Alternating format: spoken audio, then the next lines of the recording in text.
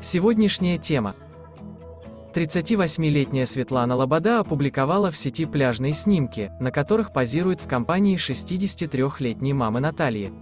Женщина поразила поклонников звездной дочери красотой и молодым видом, получив в комментариях множество комплиментов в свой адрес. Если бы комментарий не прочитала, решила бы, что это сестра.